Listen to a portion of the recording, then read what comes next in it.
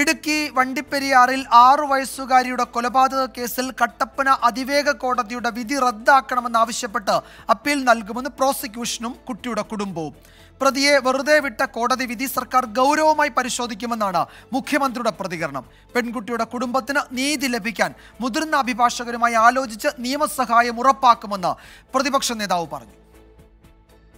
അന്വേഷണവും തെളിവ് ശേഖരണവും ശരിയായ ദിശയിലായിരുന്നു എന്ന് പറയുന്ന കുടുംബം പക്ഷേ എസ് സി എസ് ടി പീഡന നിരോധന നിയമം പ്രതിക്കെതിരെ ചുമത്തുന്നതിൽ പോലീസിന് വീഴ്ച പറ്റിയെന്ന് കുറ്റപ്പെടുത്തി.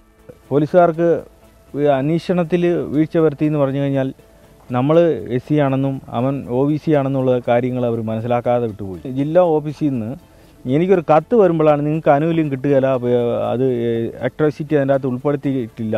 ഇങ്ങനൊരു ആക്ട് ഇടാനുള്ളതും അവർ ഇട്ടിട്ടുള്ളത് ഇട്ടിട്ടില്ല എന്നുള്ള കാര്യങ്ങളും ഞാൻ അറിയുന്നത്. പ്രതിയെ വെറുതെ വിട്ട വിചാരണ കോടതി വിധി റദ്ദ് ചെയ്യണമെന്നാവശ്യപ്പെട്ട് അപ്പീൽ നൽകുമെന്ന് special public prosecutor Sunil Maheshwarapillai അടുത്ത ദിവസങ്ങളിൽ തന്നെ അപ്പീൽ സമർപ്പിക്കും. ഈ വിധി റദ്ദ് ചെയ്ത് കുട്ടിക്ക് നീതി ലഭിക്കണം എന്നുള്ളതാണ് പ്രോസിക്യൂഷന്റെ ആവശ്യം.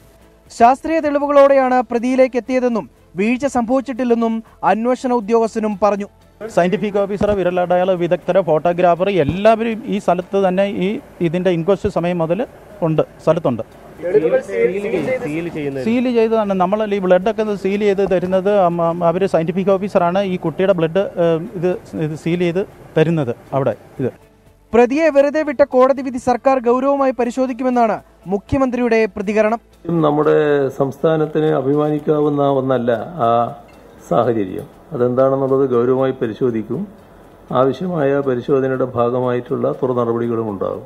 സി പി ഐ എം നേതാക്കൾ ഇടപെട്ട് കേസ് അട്ടിമറിച്ചുവെന്നും അന്വേഷണ സംഘം പരാജയപ്പെട്ടതിന്റെ കാര്യം പരിശോധിക്കണമെന്നും പ്രതിപക്ഷ നേതാവ് വി ഡി സതീശൻ ആവശ്യപ്പെട്ടു. ശാസ്ത്രീയമായ തെളിവുകൾ ശേഖരിക്കുന്നതിൽ ഇൻവെസ്റ്റിഗേഷൻ പരാജയപ്പെട്ടു. അന്വേഷണ ഉദ്യോഗസ്ഥന്റെ വിശ്വാസ്യതയെ വരെ ഇതിനകത്ത് ചോദ്യം ചെയ്തിട്ടുണ്ട്. കുടുംബമായിട്ട് ആലോചിച്ചപ്പോൾ ആലോചിച്ചിട്ട് മുതിർന്ന അഭിഭാഷകരുമായി ആലോചിച്ച് തീരുമാനമെടുക്കുക. രണ്ട് വഴിയാണുള്ളത്. ഒന്ന് നേരെ അപ്പീൽ പോവുക. Twenty four Idukki.